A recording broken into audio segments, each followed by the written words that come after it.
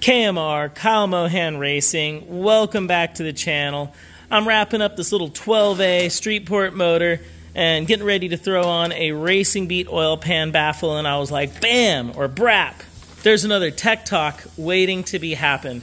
I've been building motors, rotary motors, for about 20 years, and one of the things that I've seen save a lot of motors, I've ran these on a lot of performance builds myself. Really simple, really inexpensive, is a oil pan baffle. Um, in the rotary industry, we call this a baffle. It's, it's really more of a sandwich plate or a slosh plate.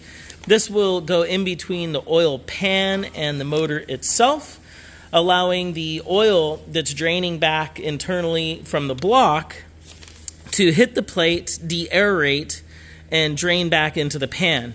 Simultaneously, while the plate's helping with air deaeration, you're also getting the benefits of this plate not allowing the oil to slosh up to the sides or fore and aft in hard cornering.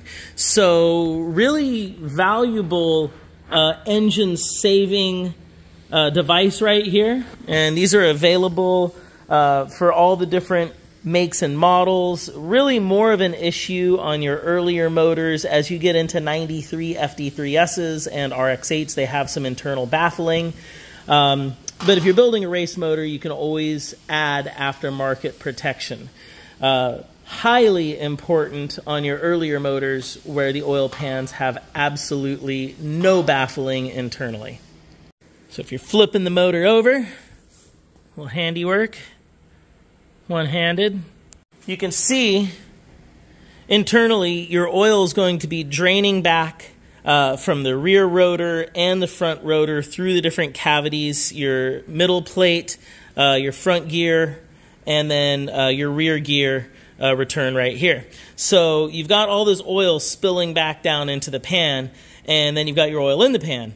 And if you turn or corner hard, that oil, instead of staying in the pan, getting picked up into the pickup tube, will go back up into those cavities that should be drained back, thereby lowering or displacing the oil amount internally in the oil pan, causing starvation of the pickup tube because the pickup tube needs to stay under oil to allow for proper pumping and continuous pumping. If you start to suck some air, get some cavitation, that can lead to a really quick drop in oil pressure, leading to engine bearing failure or just internal problems in general. You do not want to have oil pressure drops or loss of oil pressure.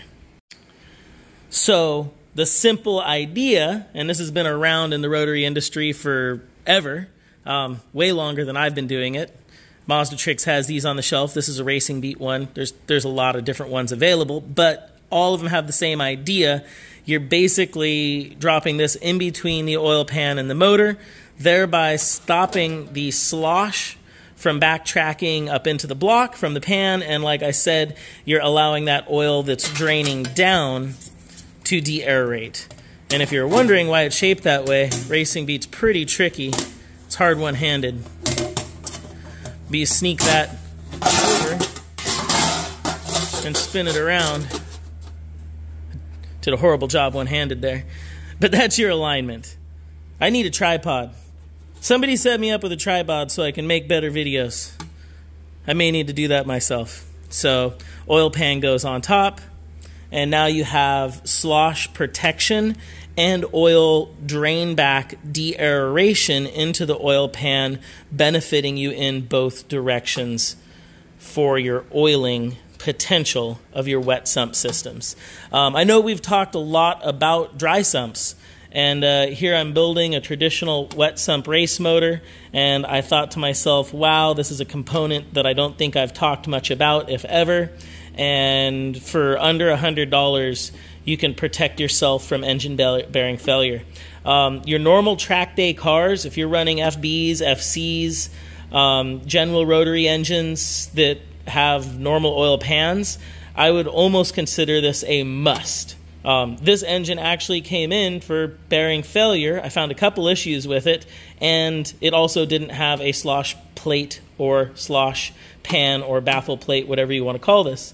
Um, so there really wasn't any protection built in, and it had some reasons why it potentially wasn't making proper oil pressure in the first place. So we fixed those issues and added a little protection. Um, it had a this is a 12A motor, so there were a couple different pump options. We upgraded to the 17 millimeter pump, a little bit more volume. Um, and we shimmed our front regulator and upgraded our rear regulator. So the whole package now should produce more pressure, more volume, and have a lot more protection from slosh. So, hey, there you have it. A little bit of KMR Mazda tricks, tips and tricks, although this should be pretty standard for your, for your performance builds. And uh, I hope everybody's enjoying the videos. We're going to keep them coming. There's a lot of stuff to talk about on rotary engines. We're enjoying building the channel. Um, and I just got to say thanks for watching. Make sure to follow, make sure to subscribe. We're all about the BRAP. Uh, we've got some more projects coming and some more racing coming. Thank you, KMR. I'm going to brap on out of here. Brap, brap.